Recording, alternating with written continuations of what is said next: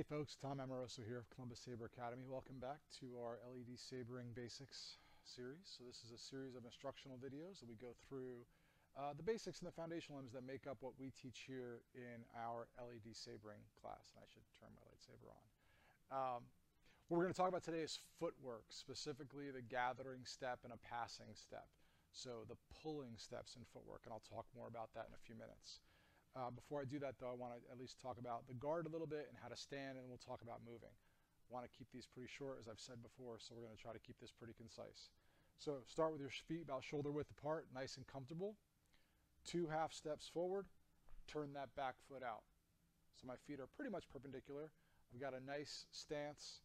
Uh, my hips aren't too bladed. I'm not too sideways. Right? I'm going to do this sideways in a second so you can see both ways and then from uh, we'll go through the saber stance in a second. So again, sideways. Here, two half steps forward, turn out, boom.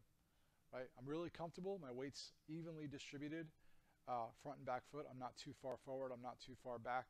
It gives me the flexibility to move as I need to. As far as sword position, we want to make sure we have our saber in our hands in the right way that we can actually practice our guard as well as the, the footwork. So, middle guard, basic standard guard for us. It's our first entry level, very defensive position to be in. We're going to go through that now. Take your arm, hold it out in front of you, about shoulder height, maybe a little bit about sternum height for your hand, just like you're shaking hands with someone. Put your saber in your hand. Grab the second with your bottom hand.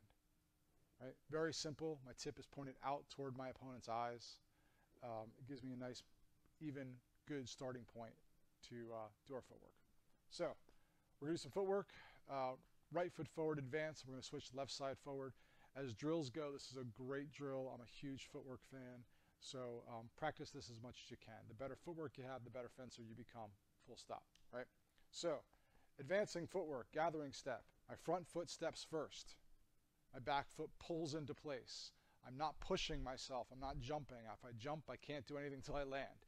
I want to be able to have flexibility and be able to move any direction I want to go. So my front foot's going to step pull my back foot in. So step. Retreating, same thing. My back foot steps first. Pull myself back into place. I know I'm behind the picture here.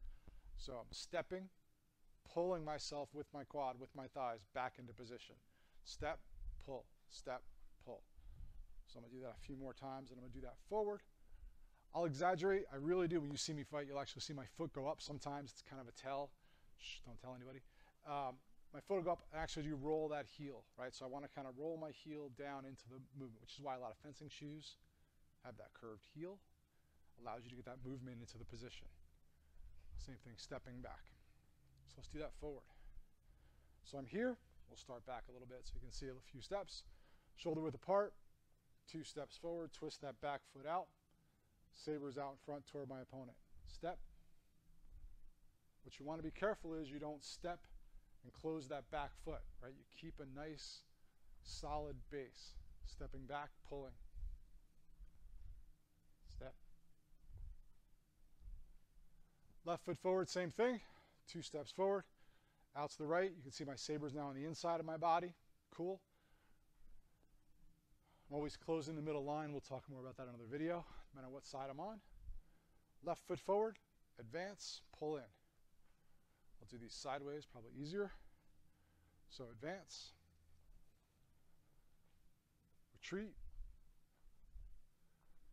Good. One thing I'll note, as humans, we walk forward in bigger strides than we walk backwards. So if I'm stepping forward in my advance, it's actually going to be a bigger step than if I'm naturally stepping back. So I sometimes have to over exaggerate my retreating step to get that distance from my opponents. It's all about measure, it's all about timing, and we have other videos on that you can go through when you have the time. So again, gathering step, stepping forward, retreating, switch sides, left foot forward, advance, advance, retreat, retreat. Want a good drill? 10 advances, 10 retreats. Double advance, double retreat, we'll show those here. Essentially just two steps before you stop. So my blade's out, double advance, double advance, double retreat, double retreat. Good. Switch sides, left foot, advance, double advance, retreat, double retreat. Pretty straightforward. We'll do more footwork in the next couple videos. I want to keep these nice and short. Practice that. The better you get at your footwork, the better you're going to be when you're fencing against your opponent. That's how you control measure. That's how you control distance. So till next time, thank you very much, and uh, we'll talk again soon.